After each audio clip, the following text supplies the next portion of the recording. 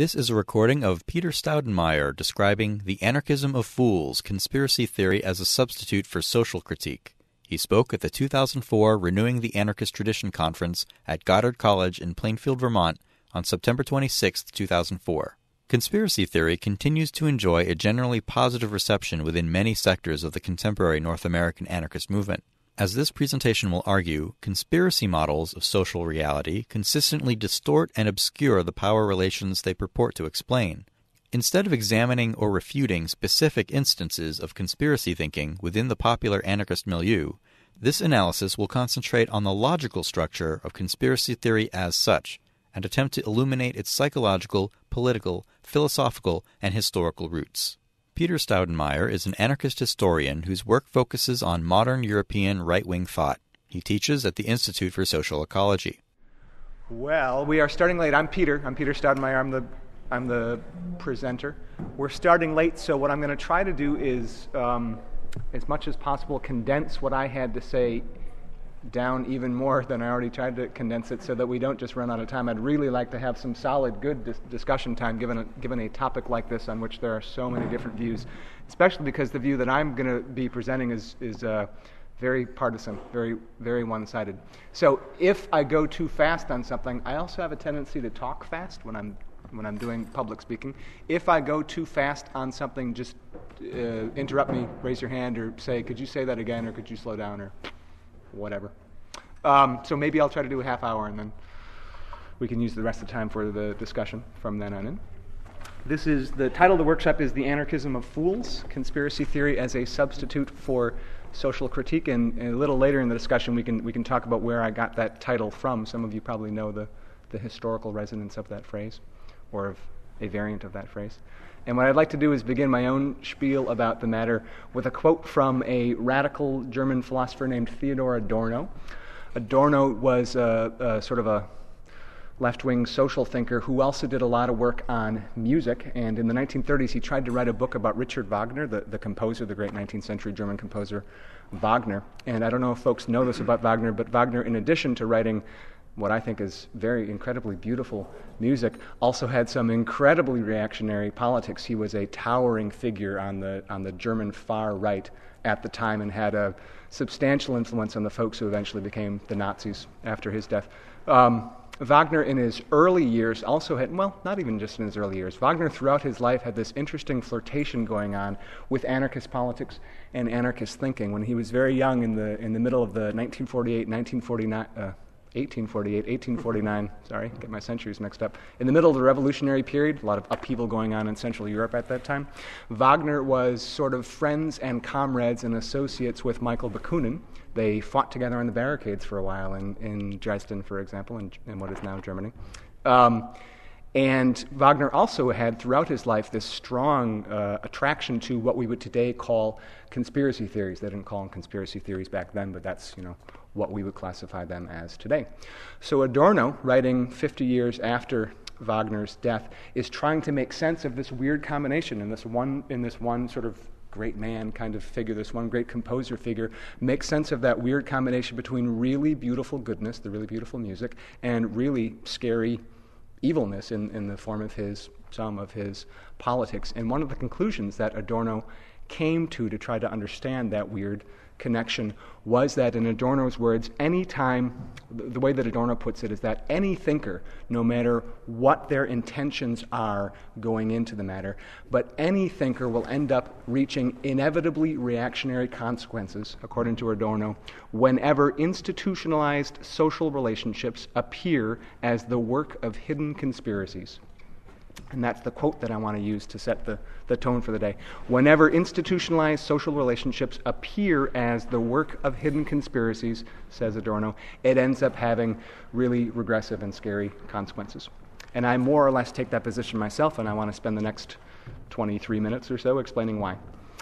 Anarchists have a very, very long history of association, not all of us, but a lot of anarchists have a very long history of association with that kind of conspiratorial thinking. You might say that if you want to go back to, uh, again, going back to Bakunin's early years, ever since Bakunin and Nechayev sort of paired up, we've had a little problem with anarchists have had a little problem with conspiracism. But in fact, I'd say that it goes back considerably longer than that, even back into the late medieval, early modern period, before there was even a term like anarchism in current use. One of the best historical sources for folks who have an interest in this sort of background to our own movement, one of the best historical sources about that sort of early pre anarchist anarchist thinking is a book by a, a, a famous historian, Norman Cohn, called The Pursuit of the Millennium. Anarchists who read this book have to read it against the grain. Cohn himself is no anarchist by any means. Uh, in fact, he's in some ways downright hostile to what we would today call anarchist politics. But it's an amazing source of information on that, on that set of worldviews and that set of movements, especially again in, in Central Europe.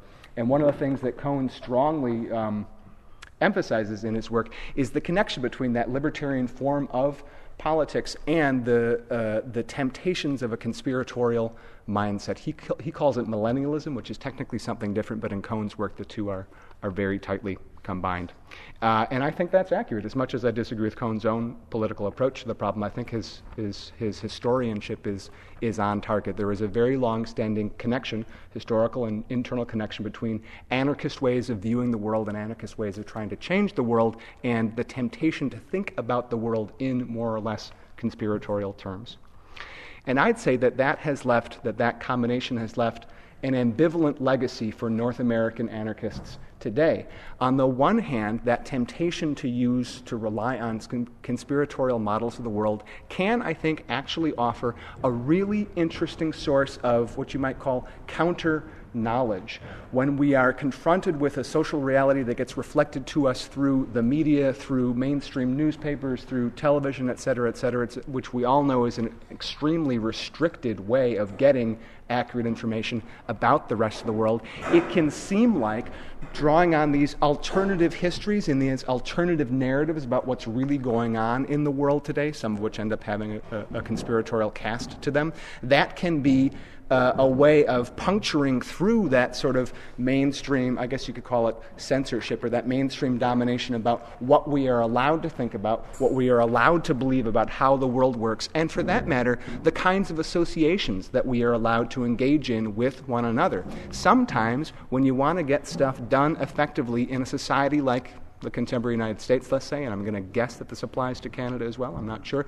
But sometimes when you want to get stuff done, and the stuff that you want to get done is technically illegal, well, then it's a good idea not to tell the authorities that you're doing it. And that puts you in, and many of us, I think, have probably been in this position ourselves, that puts you in technically a conspiratorial position. You're going to be working together with your comrades on some project or other, and you're not exactly going to go down to the local cop shop or the local district attorney and say, hey, just want to let you know, we're, we're working on this project and whatever. So a lot of us have direct real life experience being effectively conspirators. And what I say in the rest of, uh, of my remarks today is not at all intended to make light of or to, for that matter, to even criticize that kind of activism. It's the same thing that I do in, in my own uh, activist life.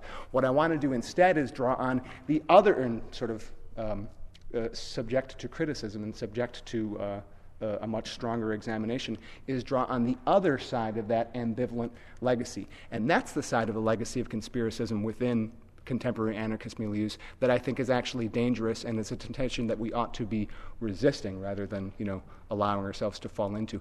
And that side I see as one that hooks up with some very deeply regressive trends within the broader North American political culture. And the main trend that I have in mind there is the history of right wing populism. I, I, don't know how, many, how, how much folks here have a good sort of background knowledge about that tradition of right wing populism. It's a very prominent part of US history, it's a very prominent part of Canadian history. I was just talking, who was I talking with yesterday?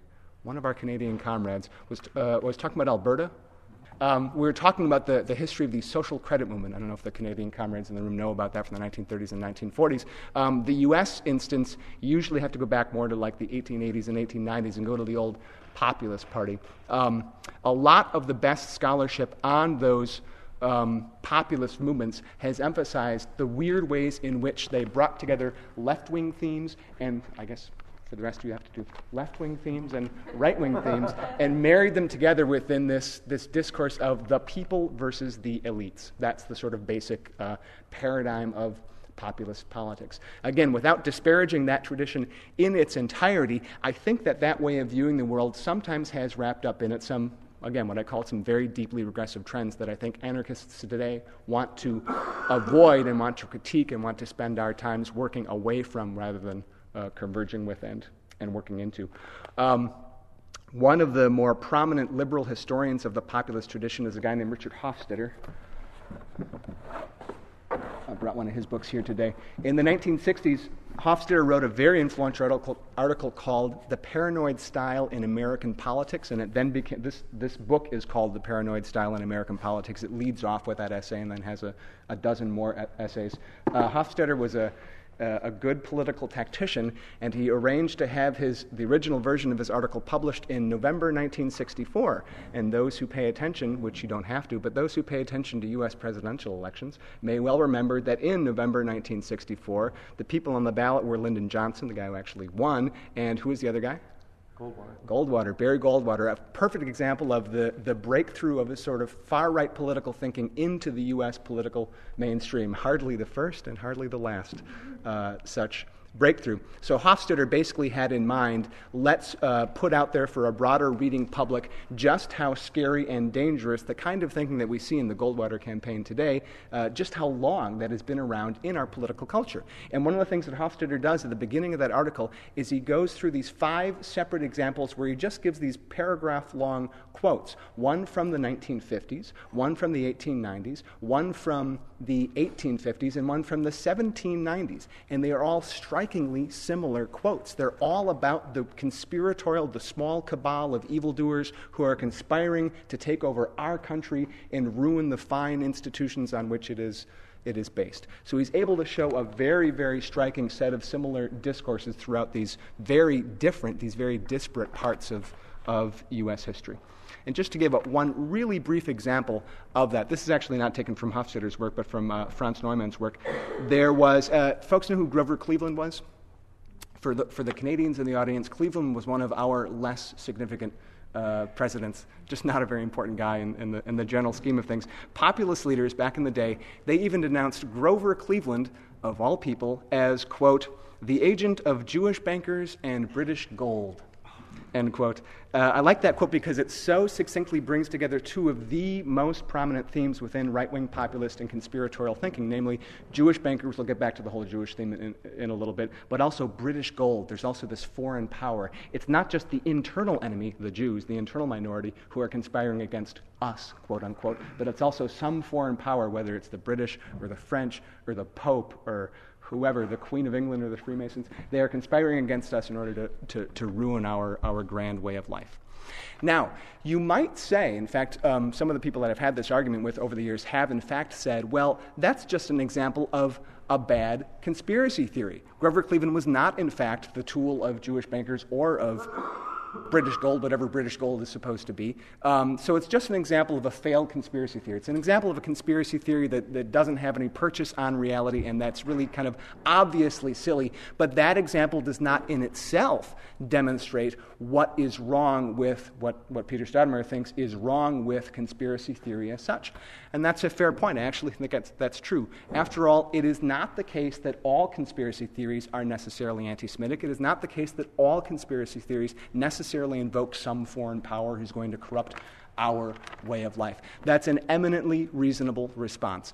And in light of that response, what I want to try to do with the rest of my time today is, to the extent possible, abstract away from particular instances of conspiracy theories. So, not try to talk about, well, was Grover Cleveland really a tool of the Jews or of the British? But instead, abstract away from the particular claims that are made in different instances of conspiracy thinking and try to look at the more general themes, the basic patterns that I think I see in most versions of contemporary conspiracy thinking, and for that matter, the basic presuppositions that underlie most in- instances of contemporary conspiracy thinking. So, for better or worse, the rest of my presentation is going to be fairly abstract, although I'll try to spice it up with a couple of real world and very recent examples from time to time. Now, before I give you my little catalog, I'm going to try to isolate about 10 different elements, very briefly isolate 10 different elements that I think animate the conspiratorial worldview as such, or what you might call the conspiratorial mindset as such. But I should say at the outset that it is not the case that all of those elements, all of those 10 or so elements, necessarily appear in their entirety or in their fully fledged form in every instance of contemporary conspiracy thinking. In fact, one of the striking things about conspiracism is its amazing elasticity. It's an incredibly elastic mental construct. And what I mean is that it can expand or contract to fit the occasion. For folks who take conspiracy theories seriously and build them into their own political analysis, into their own worldview, there's often a very impressive ability to apply a conspiratorial framework in some instances, but not in other instances. And when it is applied in some instances, it will sort of um, again, expand to fill the available space. Well, we don't know this, we don't know that, we don't know these particular facts because they've been withheld from us. So let's fill in that apparent gap with a conspiracy theory, but then it won't necessarily go and govern their entire analysis of the world as a whole. And I'll try to say a few things more about that in a moment. So, without further ado, if I can just lay out what I think are these, um, and again, I might have missed a bunch. For that matter, some of you might think that some of the things that I'm going to isolate as supposedly uh, primary foundational elements of conspiracy thinking that I'm dead wrong about and they don't in fact apply. And in that case, I will encourage folks to bring that up in the, in the discussion. Um, I will also try to say a little bit about how each of these ideas relates to the other. They're all pretty closely interrelated. The first one I would say is a rejection of contingency a rejection of the notion that some things happen for a series of reasons that aren't particularly clear cut. In fact, sometimes things happen for reasons that we can't even determine with any uh, precision with, or with any reliability. Um, the conspiratorial notion is basically that seemingly random sets of events are in fact part of a grand design, that they were arranged to fit together into a certain pattern. Whereas I would say that in fact, social reality quite often does not work according to anybody's design. It doesn't work according to the design of the powerful or the design of the powerless. It doesn't work according to natural laws. It doesn't work according to the laws of physics. It just works because social reality, as I'll get to in a moment, is a fantastically complex set of interlocking dynamics, and those dynamics don't always fit easily together. So contingency is the, is the, is the kind of thinking that I'm going to put up as a positive alternative to the non contingent way of looking at the world that I see as part of conspiracist uh, frameworks.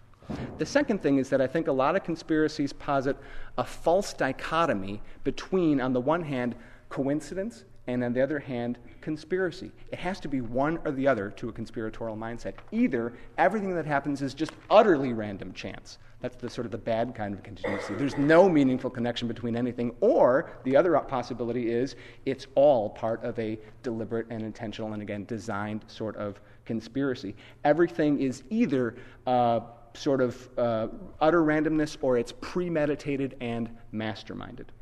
And that leads us to a third, what I see as a third misunderstanding of social reality within conspiracist frameworks, and that is a, misunder- a misunderstanding of both what contingency really means in a complex society like ours, and especially what intentionality means. What it means for social actors to have intentions and to act upon them um, there is often, I think, in our world, often a very common gap, sometimes a large gap, between the goals that people set for themselves and the results that they actually achieve.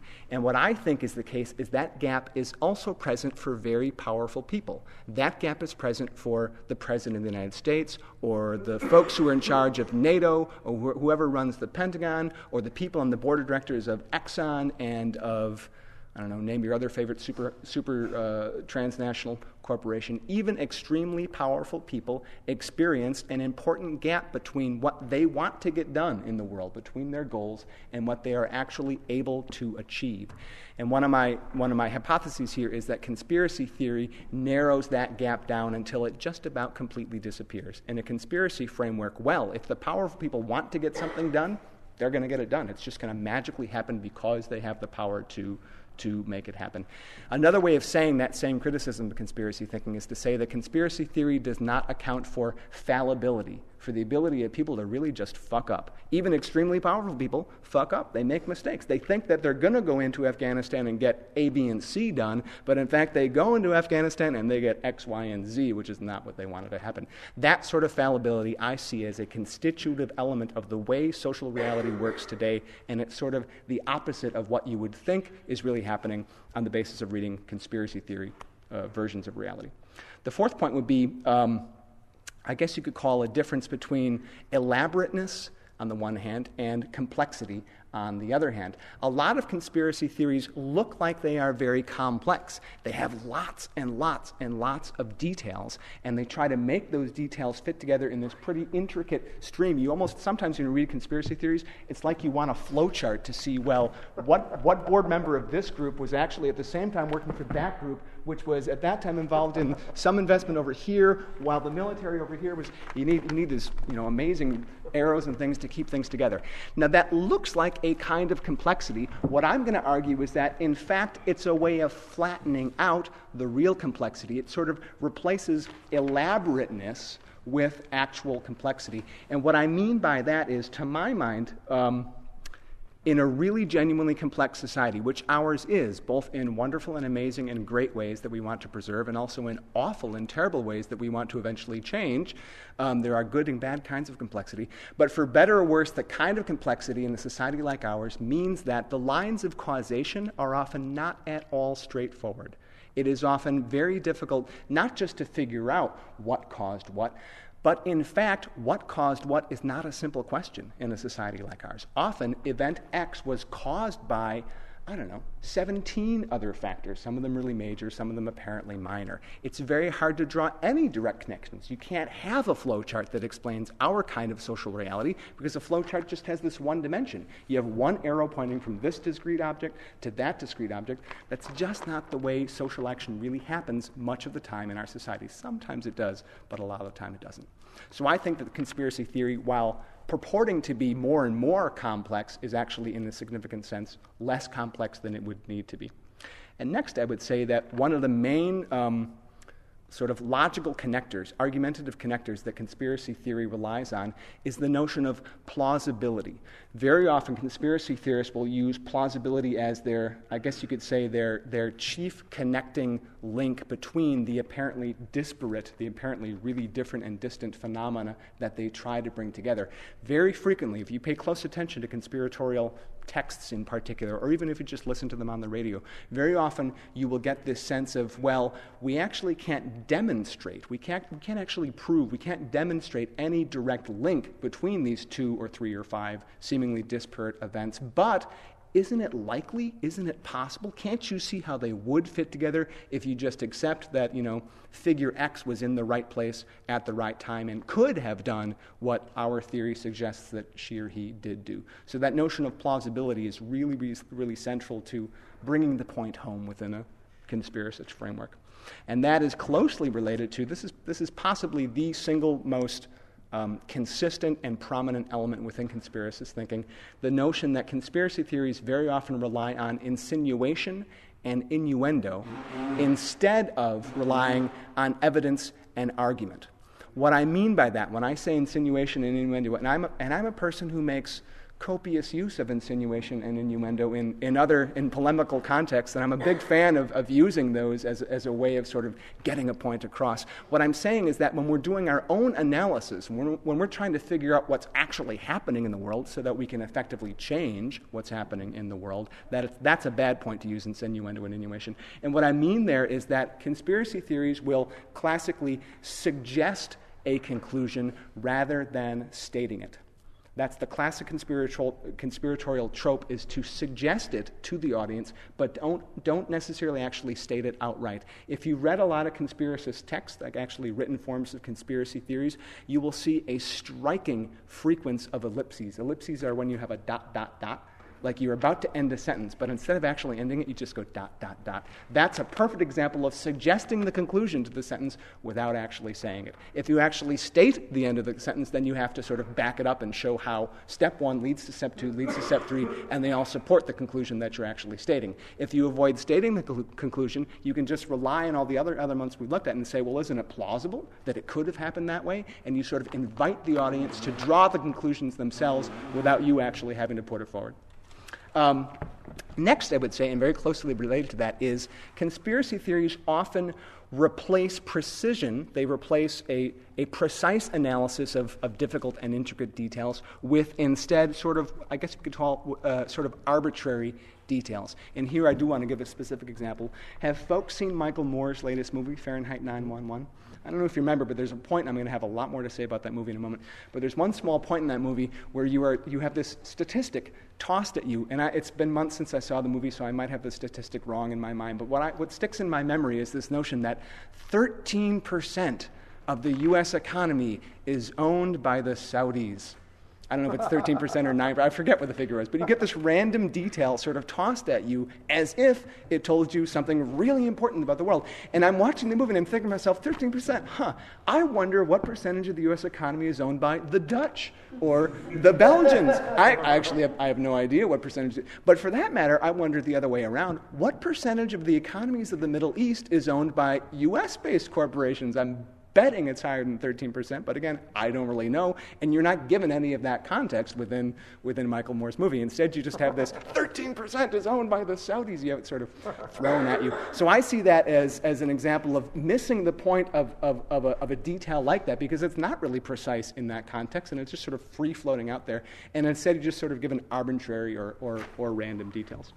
Um, now, that leads us on to, to, to, continue with the Michael Moore example, that leads us on to one of the really, really less savory elements within classic, standard, contemporary conspiracist discourse, and that is the idea that very often a conspiracy theorist will basically encourage the audience to draw their own inference. Again, don't state the conclusion, but just suggest it.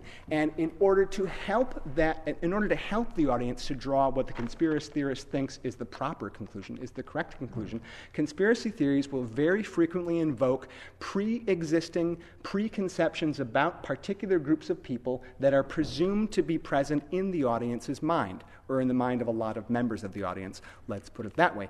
And now, the classic way that that usually happens traditionally, if you give a sort of historical overview of, of conspiracy theories throughout the century, the classic group onto which those existing presuppositions, you might call them existing prejudices, are then projected in conspiracy thinking is usually the Jews. But in today's world, it's very, very, especially in today's United States, it's very, very common to get a very similar sort of preconceptions projected onto uh, different uh, social groups. In Michael Moore's movie, the group that I see as sort of being the, the, the butt of all those preconceptions is Arabs. Muslims doesn't quite do the trick for his movie. In fact, Muslims is, a, is such a heterogeneous category that it, it, doesn't, it doesn't quite do the trick for most conspiracy theorists, although some have tried over the last three years. But in Michael Moore's movie, it's more just this diffuse no- notion of Arab people. You see all these pictures of George Bush the elder, George Bush the senior, sitting down to coffee and shaking hands with and smiling with a bunch of Arab men. And all you know about them is that they're Arab men. Why? Because they look like Arabs. They're presented as Arabs. They're wearing those things that they wear. They have facial hair. And that they, you are, uh, what Moore is doing is mobilizing a set of preconceptions on the part of his mostly white North American audience about what Arabs are like, and then using that pre existing set of conceptions to uh, invite the audience to draw the desired inference, namely, the, to, to, to draw the desired conclusion, namely that, wow, those Arabs and George Bush must be up to no good because, look, they are meeting in these secret places and they're all smiling and they're happy and they must be conspiring about something because that's what those shifty Arabs do or something like that. Um, okay, I'm running out of time, so I want to I wanna speed things up a little bit. Um, one element from that last example in Fahrenheit 911 that I think is important to highlight is that conspiracy theory very often invokes a logic of association. Not necessarily even, people are very used to the, to the phrase guilt by association, but there's lots of other sorts of associational logic available to us. And not even necessarily guilt by association, sometimes it can even be innocence by association, sort of the opposite. But in any case, it depends on this notion of a, of a logic of association. And what I mean by that is that conspiracy theory will take an incredibly complex social constellation. It'll, it'll take a, a, very complicated social reality as a whole, and it will focus on one part of that social reality, more or less in isolation from all the other parts. And then conspiracy theory will invest that one part of the complex whole with enormous significance and will ask us to focus on this one, you know, really, really important, of, uh, important part of the entire whole. What I think that is, is a sort of political counterpart to the psychoanalytic notion of displacement. And I don't know how much folks know uh, Sigmund Freud's work here, but anyone, anyone have a good, a good knowledge of the notion of displacement that they want to share with us? A one sentence who has a one sentence definition of displacement? the, the idea behind, any, has anyone ever read, has anyone ever read any Freud? Come on, people. Anyone, anyone know his, his sort of early essay called Screen Memories? So it's a delightful essay. For years before I read that essay, I, I was convinced that that essay was about movies. It was about the cinema. because in English it's called Screen Memories. And that was totally wrong on my part. For one thing, it was written in 1899 before there really were any movies. For another thing, he wrote it in German. And the word that he uses in German isn't screen, it's, yeah, deck, I always say that, uh, covered up memories. It's not about screens. Anyway, it should be about movies, though, because of the, the content of the essay.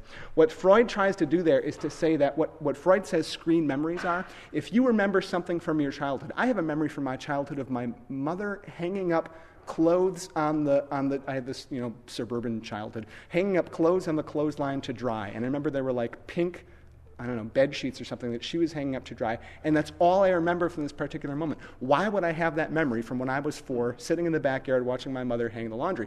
According to Freud's theory, which you don't have to buy, but according to Freud's theory, the basic idea is you contain, you, you retain that memory in your head because it is associated with, speaking of a logic of association, it is associated with some much more important memory that your, uh, that your mind is basically repressed because that important memory was like too much for you to handle at the tender young age of four. But because it was important enough, your brain, your mind did actually retain this marker of that more important memory, which happened right before it or right after it, or because your mother was involved, or because, I don't know, because the bed sheets were pink or something. There's some sort of connecting thing to the, to the repressed memory. And that has a lot to do with, with Freud's notion of displacement. Displacement is basically when you take the emotional import of one. Uh, phenomenon in your life and you displace it onto a different phenomenon. You invest that meaning into something else that is happening.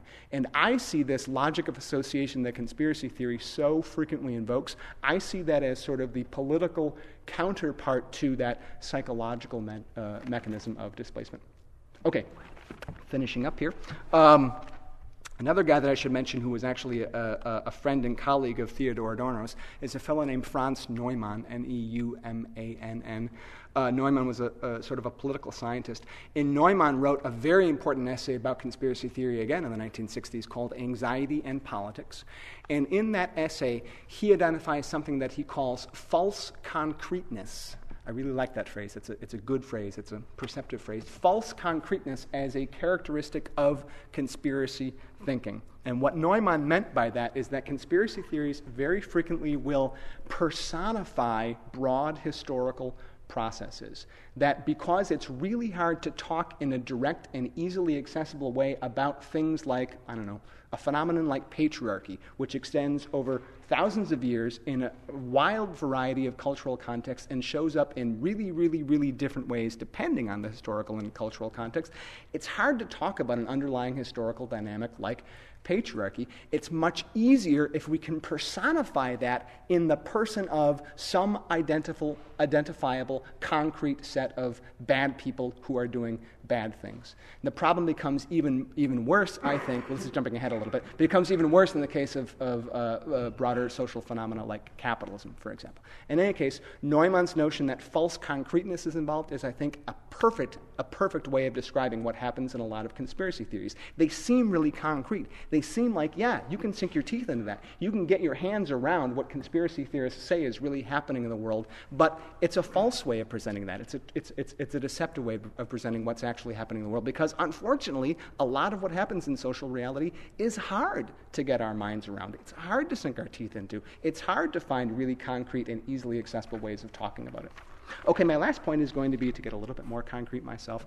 My last point is going to be the notion of the telling detail. Conspiracy theory really depends often quite centrally on the notion of the telling detail. And by telling, I mean the one really revealing detail, or sometimes it's like three or four really revealing details. The notion there is that this one fact about social reality, once we have discovered it, once we have managed to unmask it, it will illuminate everything else that is supposedly happening behind the scenes. If you just pull on this one thread long enough, if you look at 911 and if you see that something weird happened that day at the Pentagon that just doesn't somehow fit into the rest of the narrative, which is certainly the case, even after that whole ridiculous uh, congressional report about what happened that day, the whole 900 page thing. If you read through, I haven't actually read through all that stuff, but if you read through a lot of that stuff, you still are left with a couple of questions. How could they possibly be that stupid that they allowed that to happen? And, and how did this weird thing happen at that time, et cetera? There's a bunch of unanswered questions that are, that are hard to make fit into a coherent narrative. And according to a conspiratorial mindset, if you can sort of focus on one of those unanswered questions and you grab onto that thread and you just pull it long enough, the idea is that that alone will unravel the whole hidden structure and eventually we'll be able to reveal, aha, what was really going on on 911 was such and such and, and, and so and so. Okay, so those were sort of my, my little mini uh, catalog of what I think the basic characteristics of conspiracy thinking are. And to, to, to try to wrap up what I what I think are the problems with those uh, particular characteristics. I would say that the result of all those 10 or 11 different things is a tendency to hold specific and identifiable, and again, concrete social groups responsible for what seem to be inexplicable aspects of the social world, and usually the really detrimental aspects of the social world. I am often in agreement with a very wide range of conspiracy theorists, including some right wing conspiracy theorists. I am often in agreement with them about what is screwed up about our social reality. Not all the time, but a lot of the time I agree with them. The difference comes in how do we analyze what accounts for that uh, for that screwed upness? Is it actually the case that there is a, some sort of small, separate, identifiable group of people whose bad actions are, are, at the, are at the root of the problem? Or is, in fact, the problem a much, much trickier one of, and this is my, and this is my own position, a much, much trickier one of underlying social relationships, underlying social structures that go well beyond the specific intentions or the specific actions of any identifiable group. In other words, it's a difference between if we, if we sort of rounded up Dick Cheney and George Bush and the whole gang and sent them into exile somewhere else, as if any other place on the earth would actually have them, sent them to the moon, sent them into exile on the moon, would that in and of itself have any appreciable effect on what actually happens in our social world? Well, maybe it would have some, but would it actually change the underlying social structures? My argument is no. The tendency of conspiracy theory, even when it doesn't, doesn't actually say this outright, the whole tendency of conspiracy theory is to answer that question yes. Basically, if you can find the cabal of evildoers who are screwing up our otherwise basically decent and good social institutions, if you can find that group, isolate it, and eliminate it, and make them mend their corrupt ways, or make sort of kick them out of office so that they're no longer able to pursue their corrupt ends, then that will solve the problem right then and there. I see that as the basic tendency, again, even when it's not articulated, I see that as the basic tendency of pretty much all uh, conspiracy thinking. Now, the analysis that I laid down, the last 100 words, the last two minutes of what I just said, that has been said in detail and repeatedly by lots of other left figures in the U.S. over the last two decades. Noam Chomsky is an excellent example. I love bringing up Chomsky in this context because when I argue with my parents, for example, who are you know, sort of boring liberals and don't have an anarchist bone in their bodies, when I argue with them and I'll make some, what appears to them to be an extremely outlandish claim about how I think our society works, they'll dismiss it with a wave of the hand and say, oh, that's just conspiracy theory. And when I try to give them like a little bit of Chomsky, Chomsky can sometimes be a, a good wedge into that kind of thinking because he's a more accessible writer than some others are. You give them some Chomsky and they'll read him and they'll say, oh, that sounds like a conspiracy theory to me. When in fact, Chomsky has been admirably consistent for decades about, well, no, in his nice, calm demeanor, well, no, actually, the analysis I'm presenting is an institutional analysis. It's pretty much the logical opposite of a conspiracy analysis. He is especially consistent, I may point out, when he is out and about giving public talks, which he spends an enormous amount of his time doing, giving public talks around the world, he'll very often draw a bunch of local conspiracists to his talks. I, I lived for many years in Madison, Wisconsin. Whenever Chomsky came to town, the conspiracists came out of the woodwork and they showed up at, at his talk basically because they saw him as one of their comrades. They saw him as basically underwriting their own claims about reality. And every once in a while, in the question and answer period, they'd stand up and they'd give their own little, you know, favorite personal pref- preferred version of the conspiracy theory. And Chomsky would very calmly explain why what they were saying was in fact incompatible with what he was saying. I love the fact that he's very, he's very, very good about that. So we have Chomsky as a very prominent you know, figure on the more anarchistically uh, oriented end of, of left wing politics in this country. But we also have people like Michael Albert, one of the, one of the founders of Z Magazine, who's been extremely consistent and extremely, again, extremely detailed and extremely clear about this matter for many, many years, explaining what is wrong with conspiracy theory, why it undercuts an institutional analysis.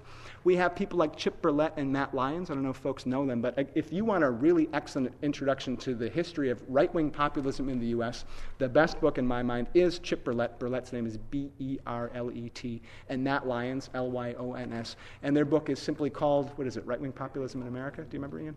I think it's Right Wing Populism in America, a fine book.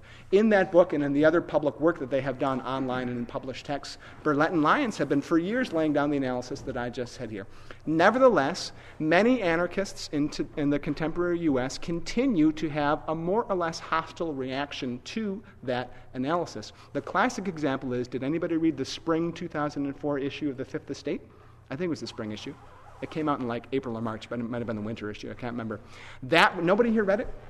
You got to go pick that up. That was the conspiracy issue, and it had. Unfortunately, I, I just moved across the country a month ago, and I, I have this issue the Fifth Estate somewhere at the bottom of some box, but I could not find it before I had to come here. I wanted to pass it around and show it to everybody. It's the whole issue is about conspiracy theories, and the most interesting and most substantive article in the issue is shit. I can't remember the title or who the authors were. I apologize. It was months ago that I read it, but the whole thing is a rebuttal of Michael Albert's and Noam Chomsky's and Chip Berlet and Matt Lyons' take on what's wrong with conspiracy theories. It's an attempt to recuperate, to rejuvenate conspiracy theories, and to argue to the anarchist milieu, well, don't listen to those other boring, fuddy duddy leftists over there. Let's, let's grasp the radical potential of conspiracy theories.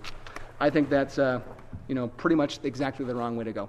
And there's three reasons that I want to leave us with for why I think, so we can actually have some, some discussion, why I think that sort of conspiratorial thinking continues to enjoy a generally positive reception among some sectors of the U.S. Anar- well, the North American anarchist milieu today. And the three reasons I would point to is one, the anarchist tradition, I think, just doesn't have a particularly strong tradition of sophisticated theoretical analysis. I wish that that were different, and a lot of folks at this conference, for example, are, are in the midst of working to change that. But for better or worse, I just think it's a fact about our tradition that we should all pretty much sit down and face. We have some wonderful political history, we have amazing uh, uh, activists and revolutionaries in our uh, pantheon, so to speak. We have a lot of things to be very, very proud of within our own traditions, within our own histories, but we don't have a particularly well articulated or let's say, a particularly sophisticated or refined examples. We have some of them, but not very many examples of really hard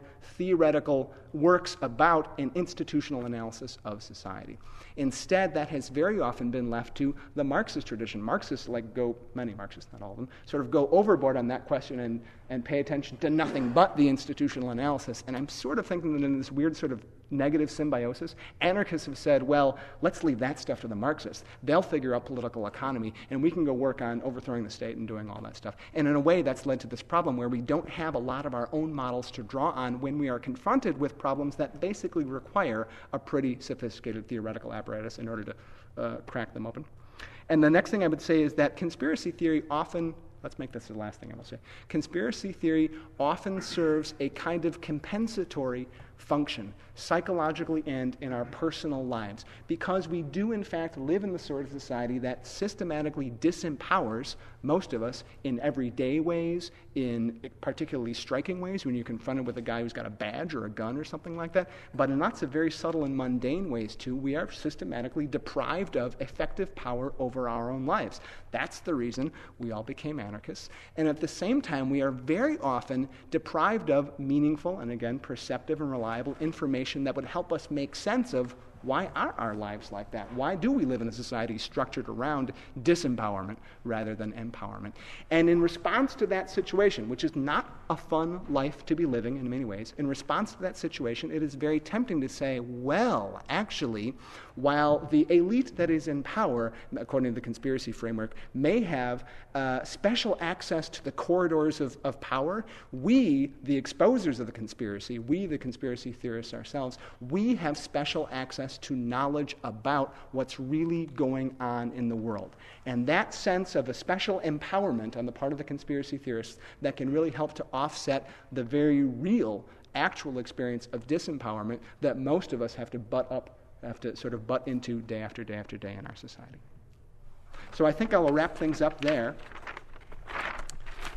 and encourage a free flowing conversation.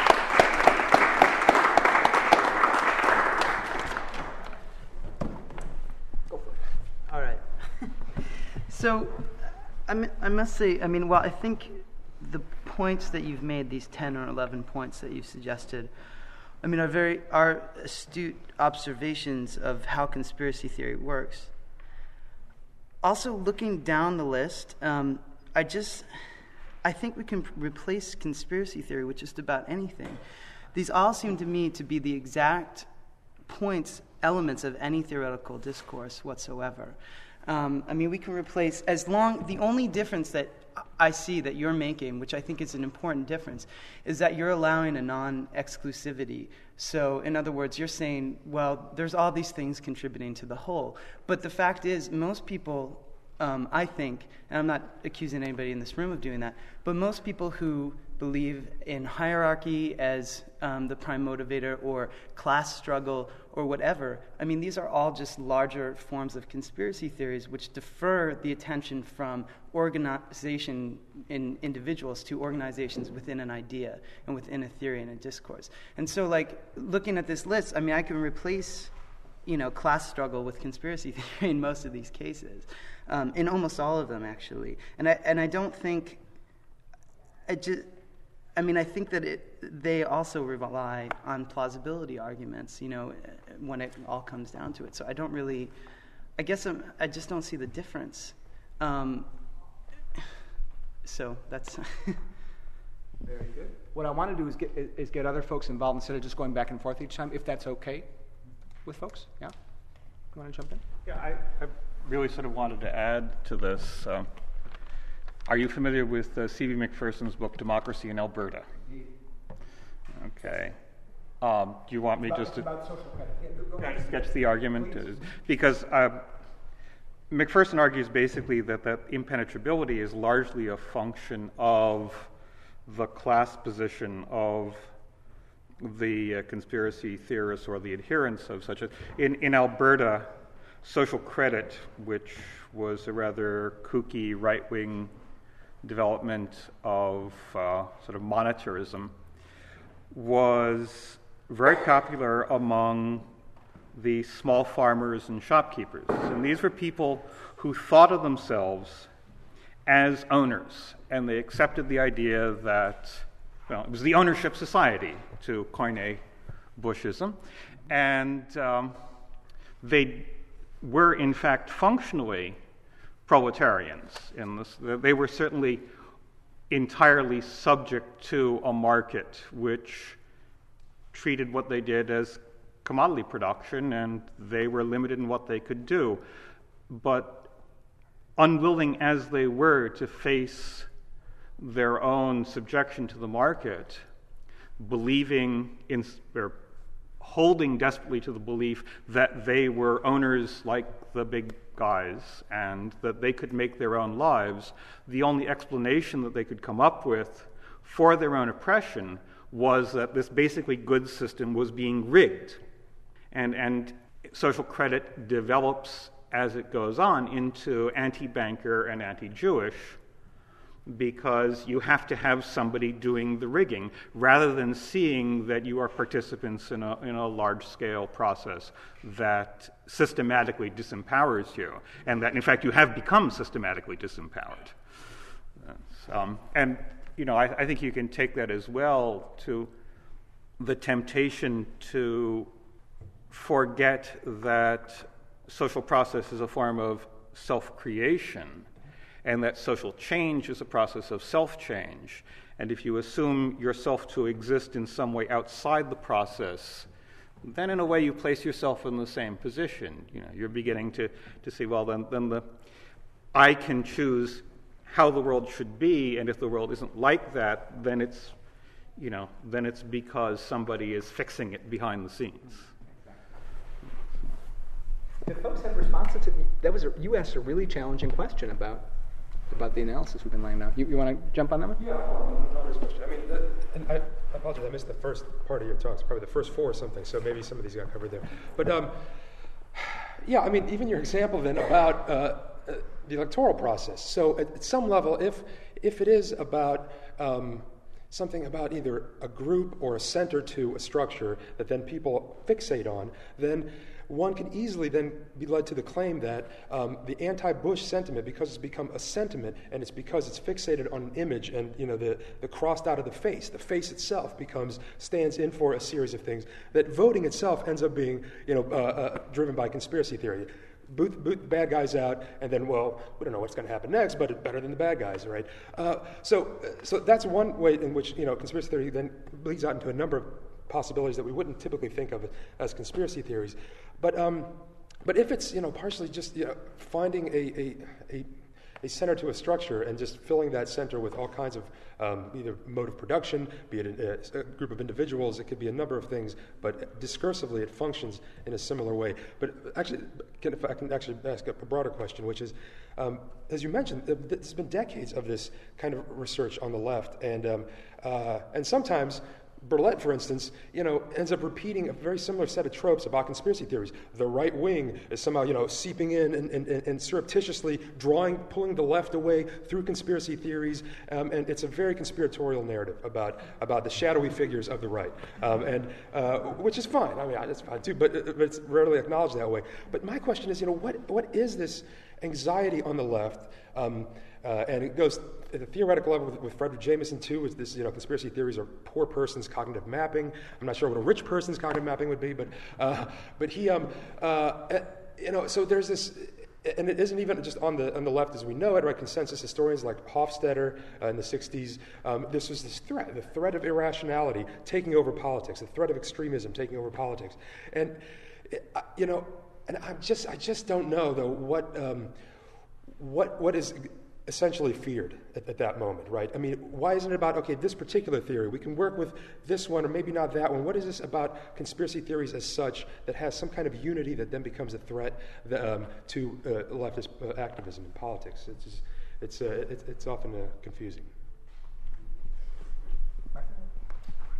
Yeah, I guess I, I, on some level, I guess I want to play devil's advocate or uh, somehow engage with you along the question of, of where you're making a distinction between, okay, if we jettison Bush and Rumsfeld and, and the rest of the cabinet to some other place, versus a systemic kind of critique. So if we push, get rid of Bush and Rumsfeld, suddenly we return to this state where we have power or whatever, um, and and really instead arguing that well we need to have a systemic critique which allows us to understand that it's not necessarily these individual actors who are responsible for the conditions that we face in this particular moment, and I think obviously that's a very important piece to hold on to and, and, and, an important foil to use against conspiracy.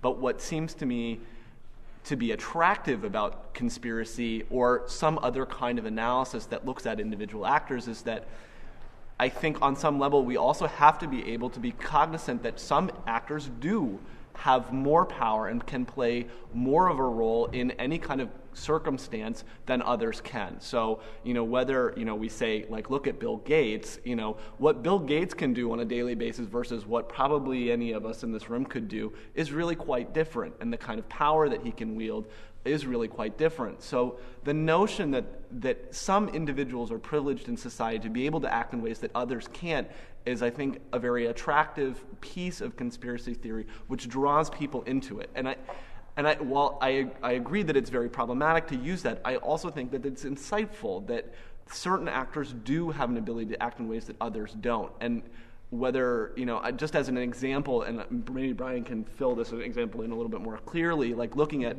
biotechnology in the United States, you know, during the Clinton administration, here you have a president whose personal attorney used to be, you know, related to the Monsanto administration, and then you have, you know, the two people who write legislation that principally governs how genetic organ, uh, genetically modified organisms in this country are are allowed to be are are from the Monsanto Corporation, so that we see actually very clearly individuals being involved in processes which result in very tangible things. And maybe we can use some of these 10 or 11 points and sort of analyze in, well, you know, we're making some conjectures and, you know, we could, we could blank out the names and, the, and this, this story would still continue. And I just, I guess I don't, I don't know where that where the give is between being able to say this is a st- systemic critique and these are individual actors. And I think that's the very difficult part of conspiracy theory, is because on some level there are attractive pieces there because it does say that actors have intentions and they have desires and goals that lead us in particular directions. And how do we differentiate out those desires and goals from conspiracy to a systemic critique? I mean, how do we overlap those in, in, in a way that makes sense? Just a brief question is, uh, uh, what's the name of the book? Uh, what's wrong with Kansas? That some professor or somebody came out with, and they were using a. Uh, it's interesting how uh, the analysis was how the right uses class war to talk about the cultural wars. These the middle class is shrinking. The blue collar jobs are getting thrown overseas. Now the white collar jobs are getting outsourced. So people are being disenfranchised, as you said quite well. Uh, they don't have any power or whatever, and then they have this anger, right? So the left can't connect with these people for some reason. I don't know, but the right goes in there and says, "Guns, gods, and gays." There's this liberal elite controlling your life, and you can't have prayer in school. Da da da. And then they get all get people all pissed off, especially about abortion and stuff. And then the idea is you never change. You, you, they elect the Republican congressman, he or she gets elected. Then they just outsource all the jobs. The factories leave the town. Every you know the uh, take you know cut the health care, et cetera, et cetera. And but they're using this kind of conspiracy theory that there's people in Washington, this liberal elite media or whatever it is, that are controlling everything and and uh, I'm not sure how I'm going with this argument or the idea, but but uh, but it's so powerful. It wins elections. It it it. Uh, uh how do you counter that, or how do you? you know, because people believe in it, it, it, connects to people's emotions, to their feelings, to, to a mythological type of thinking. Almost, and then you connect that to the religious right, which has their own mythology, and it's quite. I find it quite threatening or scary because, uh, uh, you know, it's it's how do you uh, how do you how do you fight that? I guess I'm not sure if that's the right kind of question, but that's what I'm thinking. To, to my mind, it's exactly the, it's it's the kind of question that we that anarchists I think would do well to to grapple with a little more strongly. I don't know how, how well folks know Tom Frank's work. He was one of the one of the people behind the Baffler, and his new book is called "What's Wrong with Kansas."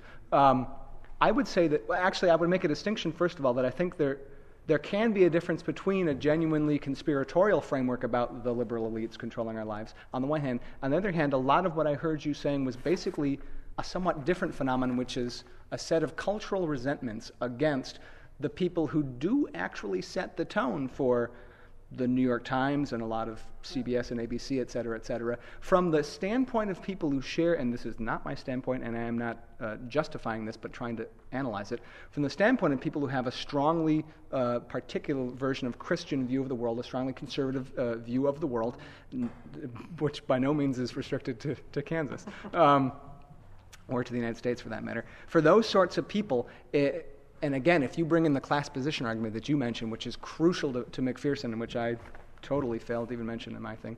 Um, thank you for bringing it up. When you, when you bring those factors together, it can be an entirely legitimate response to the kind of stuff that you are likely to read in many of the newspapers and in many of the, here in many of the television programs, et cetera, et cetera, to complain that this is an alien culture. This is an, an, actual liberal elite that makes more money than we, quote, we do, uh, that has a different set of values than we do, that lives a totally different lifestyle than, than we do. In fact, that usually lives in different places than we do. They, they, live, they live inside the Beltline. They live in Manhattan. They live in Hollywood. They live in, uh, you know, Miami. And right there, you can already, I don't know, how, again, how well folks know the, the historiography of anti Semitism, for example, but, and not just anti Semitism, but you can see some immediate connections between a set of cultural resentments, which are, you know, on the face of them, well, I just disagree about the cultural choices that those folks have made, but it's not like I can insist that they change their own values or something like that. When we have a political disagreement, that's a disagreement about an institution. Because these people are one issue people. It's like abortion or whatever. That's the only thing they care about, right? I'm sorry for interrupting. No, no, that's cool. So, sometimes I think they, they are interesting. The people, the folks that I know in my own circle of families and friends and coworkers are, are multi-issue people. They, they don't always they don't do the conspiratorial thing of trying to connect up each and every one of their favorite issues in one grand uh, narrative, but they do have uh, they do have a multiple uh, set of issues that that animates them. So I want to acknowledge that it is possible to have a set of resentments none of which I share, but which are um, acceptable within the confines of a genuine democratic public discourse that aren't necessarily conspiratorial, but ca- that can very easily lend themselves to a, con- a, conspiratorial explanation that then seems to offer to the people who hold those cultural commitments, that then seems to offer, aha, this at last makes sense of my discontent with so much of what I read, so much of what I hear, so much of what I have to have to see on a daily basis around me. Unfortunately, that analysis does not get to the, to the really challenging questions that Arthur and Andre brought up about um, exactly how do we do that difficult job of, of finding the line between a genuine institutional analysis, and I'm not. I think I would partially disagree. I, th- I think there are versions of, for example, class struggle anarchism that, that don't to which my 11 my catalog of 11 criteria would not very clearly apply but there are other versions of it to which that catalog uh, you know could could easily apply. And the trick is to find in our own political work whatever our you know specific version of anarchism is that we're drawn to to try to to try to look at that line really clearly and see where are we arguing more for an institutional structural analysis, which is what I sort of want us to argue for, and where are we falling prey to, sometimes even unconsciously falling prey to, the easier sort, the more superficial sort of uh, conspiratorial analysis.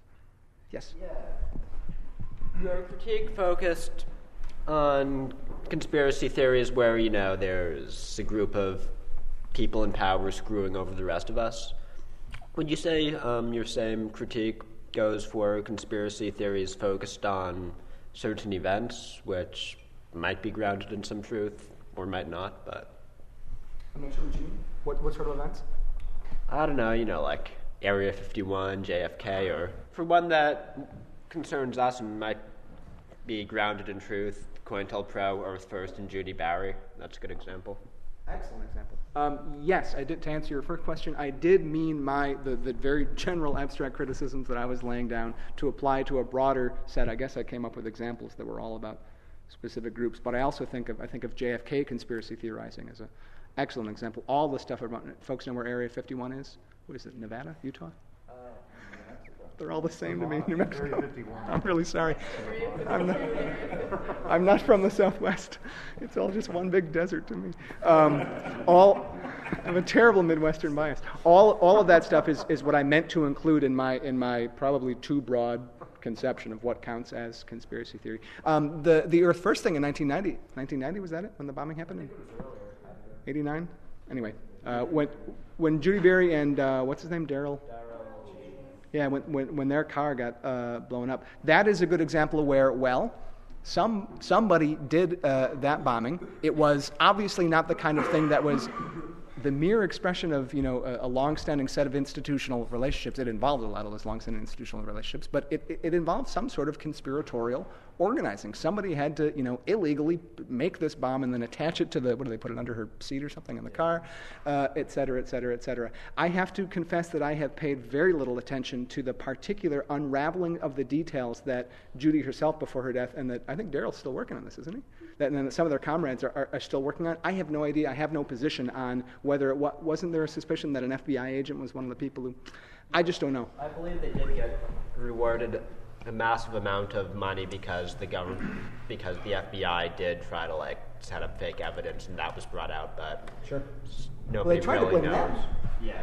Yeah, they tried to blame the, the, the two victims of the crime. Really knows what really happened. so there's plenty of conspiracy theories still going around. I guess that's that's the point I was getting at. I am myself an unfortunate. Um, I am adding to the susceptibility of, toward conspiracy theory in this case because I just don't know, and to be. It would be dishonest to say, well, I actually have a better theory of what happened, that I have no theory of what happened that day. And, and given that fact, given the fact that it's not like the FBI immediately released all of their files, or that the local San Francisco cops released all of their files about the surveillance that had been going on, it's not like we have a lot of sources of, of information for, for moments like that when our own to the extent I, I, I, see them as to an extent my, my comrades, given the political disagreements. When our own comrades are getting, you know, uh, uh, blown up, we obviously, for obvious reasons, we're not anarchists We're not going to be the first ones who have direct access to reliable sources about exactly how that happened, who was behind it, you know, uh, what led up to it. And given that vacuum of good information, it's really easy to fill it up with questionable uh, information.